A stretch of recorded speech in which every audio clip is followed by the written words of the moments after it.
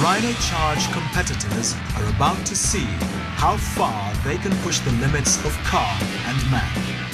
Out of these 62 teams, a few will roll their cars, many will have breakdowns, and some will just give up as they compete in the world's wildest competition that pushes man and car to the extreme in a conservation effort like no other.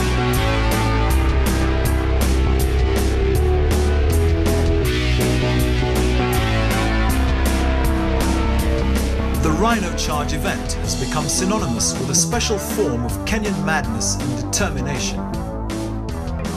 For the past 23 years, these men, women and their machines have raised millions to build the Aberdare Mountain Ecosystem electric fence, which now protects one of Kenya's most critical water towers.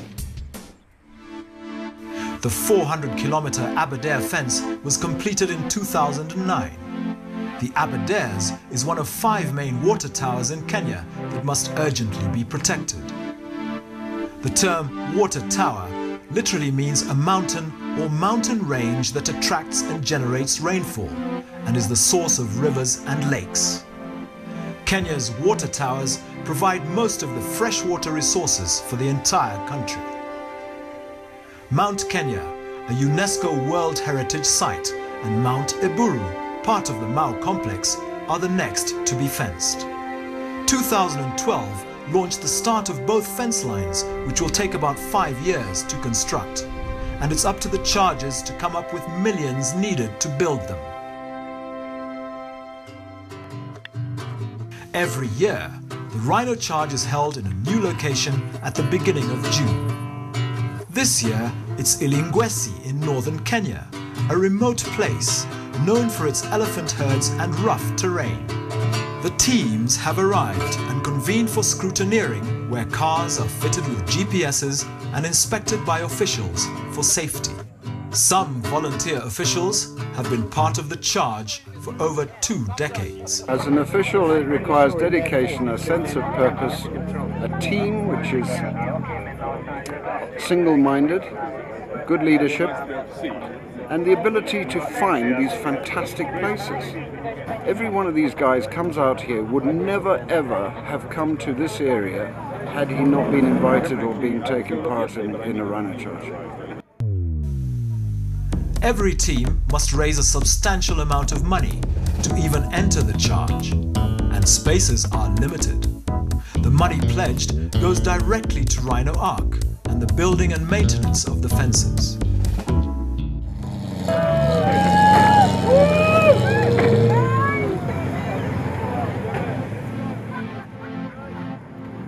And finally, it's time to charge. Cars go their separate ways as they follow their own course. There are many traps waiting.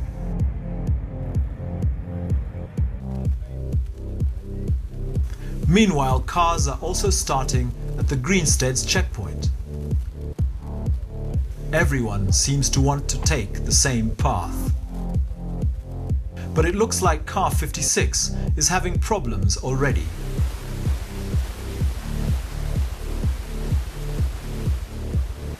Car 29, in usual form, overtakes leaving 56 behind.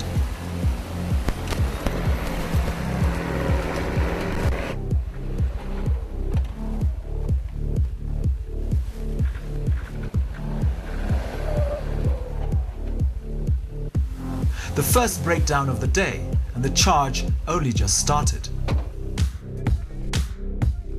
While car 56 is immobilized, car 48 is coming into Greensteads at the rate of knots.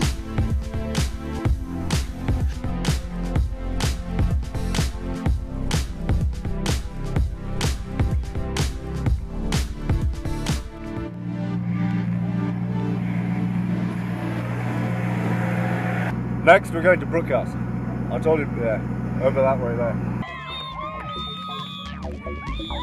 The valley between Greensteads and Brookhouse is full of obstacles. This rock riverbed is just one of them. Most teams will try to avoid crossing it if they can, like car 61 coming in over the hill. But the shortest distance between the two checkpoints is over the riverbed, and even shorter is a bottleneck, further down that can destroy a car in seconds. Team 48 decides to attempt a higher crossing.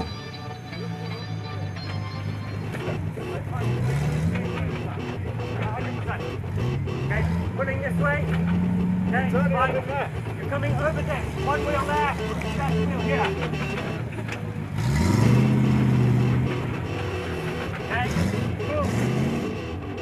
The beauty of a modified car with clearance is illustrated here.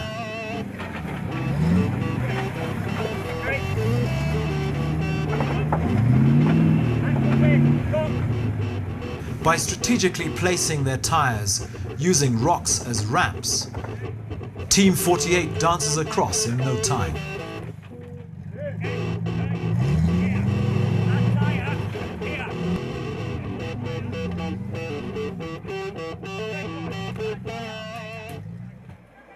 Further down the river, Team 17 finds themselves right at the bottleneck. Well, until here we were doing pretty well, but I think we're going to be snagged unless we can. We haven't done enough checkpoints. This unmodified Land Cruiser doesn't have a lot of clearance, but it is light.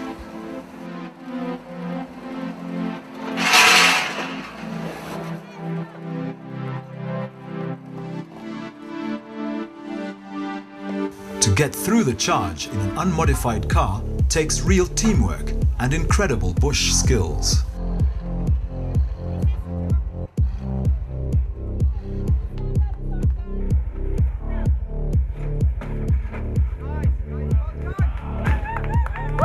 Over the riverbed, but now straight into the bottleneck. Doesn't matter, they are not about to give up. They are the first team to attempt this. It's all or nothing for these girls.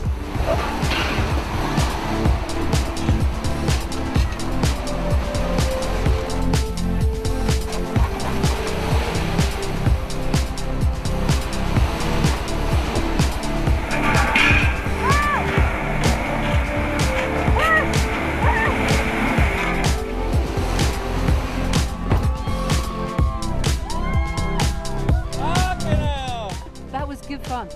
Good teamwork and good fun, but we're late now, so we've got to go. Bye, you've had enough. Go, go! As Car 17 gets onto their next checkpoint, Team USA has just arrived. challenging, very challenging. You know, crossing a lot of these rivers in between, uh, you know, very rocky. It's not easy. Just got to take it very slowly. It's mid morning now, and things are happening at the gauntlet. The gauntlet comprises several closely placed checkpoints in a difficult area. If you can't make it through the gauntlet, you're not going to win. While car number two is laying on its side, everyone else is trying their best to stay upright.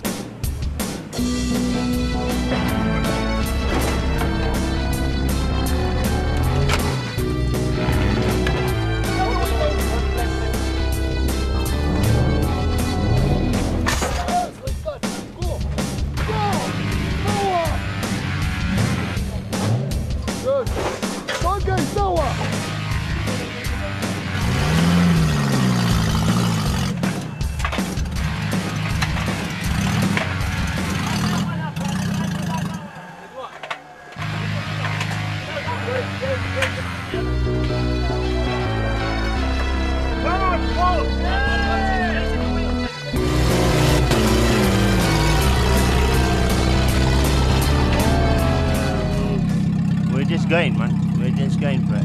We're having fun.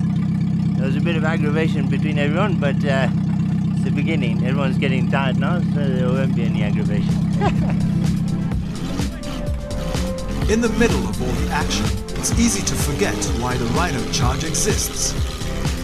But without the charges, Kenya's water towers would not be protected.